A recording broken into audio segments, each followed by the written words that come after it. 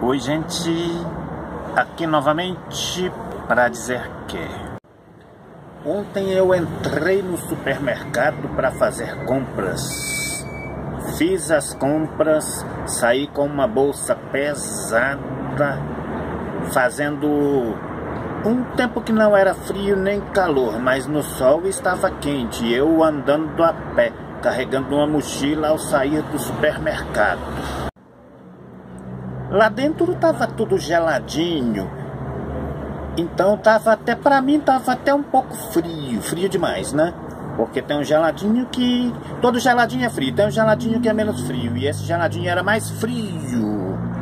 Então, saindo de lá, carregando a mochila com as coisas que comprei lá no supermercado, aqui no centro de Belo Horizonte, de repente Comecei a sentir frio e aquele frio intenso, as costas geladas, tudo gelada, na parte das costas mais gelada ainda. E lembrei, coronavírus.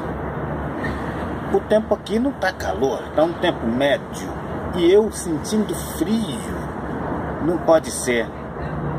Hoje em dia, se a gente der um espirro ou ou uma tosse já vai logo pensando em coronavírus, e foi o que eu pensei. E a, quanto mais eu andava, mais frio eu sentia. E suando também, e o suor estava geladinho, e eu pensei, ih, tá confirmado, agora é coronavírus mesmo, porque tudo agora é coronavírus. O que, que eu vou fazer agora?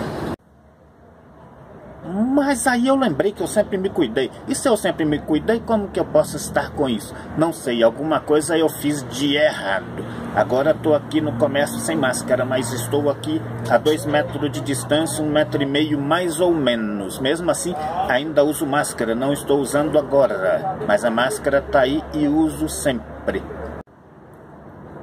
E eu tava vindo pra banca carregando aquela mochila pesada. Quanto mais eu andava, mais frio eu sentia e mais suava. Então tava complicado para mim. Eu também pensei, quem sabe eu esteja iludido. Não, eu não estava iludido, eu estava sentindo frio mesmo, e suado e muito frio. Quanto mais o tempo passava, mais frio eu sentia. Então pensei, quem sente muito frio tá com febre. Então, coronavírus aqui é é o que eu pensei mesmo. Então fiquei assustado, mas até que eu mexi a mochila um pouquinho, aí eu pude perceber que eu tinha pegado coisas lá no congelador e coloquei na mochila e estava encostando nas, na minha cacunda, nas, nas minhas costas. Cacunda é costas e estava gelando e estava pesado, então quanto mais eu andava carregando peso, mais suado eu ficava. Bye bye coronavírus. Aí foi a salvação da pátria. Aí eu fiquei tranquilo, mas tenho que me cuidar porque isso pode pegar qualquer pessoa. Deus queira que não.